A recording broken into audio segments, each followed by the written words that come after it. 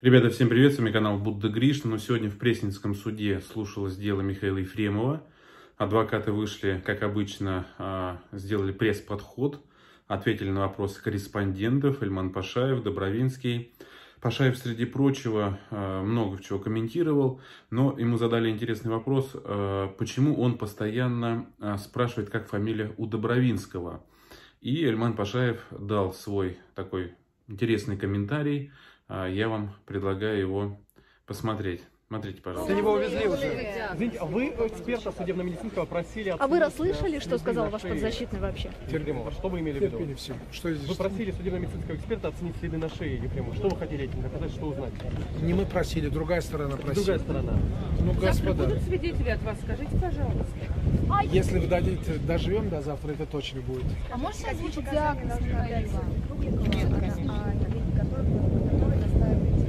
Давайте мы поза- давайте подождем до завтрашнего дня. Что он вам сказал сейчас? Вы меня путаете с представителем. Я сначала суду предоставляю, потом с журналистом. Не, не как сначала журналистам, потом суд. Эльмана, почему вы постоянно спрашиваете, как фамилия у Добровинского? Ну я же плохого ничего не имею в виду. Вы знаете, ну, я в прошлый раз говорил, мне даже э, вице-президент Федеральной палаты адвокатов, также он подтвердил, что человек никогда не работал по аналогичным делам. Я его не знаю.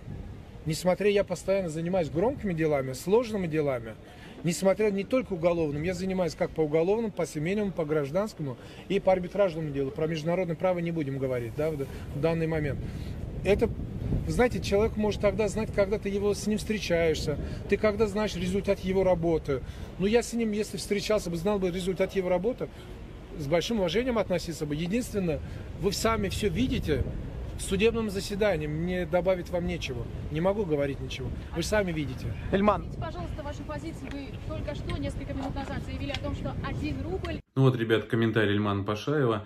Фактически он заявил, что не знает Добровинского по работе, потому что Добровинский по аналогичным делам, э, такое дело, как, таким делом, как у Ефремова, и вообще уголовным делам, не работал. Э, ну, я не знаю, работал или нет. Э, напишите в комментариях. Но, насколько мне известно, Добровинский, он, в общем-то, работал всегда по м, делам, связанным с бракоразводными процессами и так далее. Эм, Не знаю, в общем, э, но у Ильмана Пашаева вот такое видение ситуации. Пишите ваши комментарии, подписывайтесь на канал, кому интересно. С вами был Будда Гришна. Всем пока, до встречи.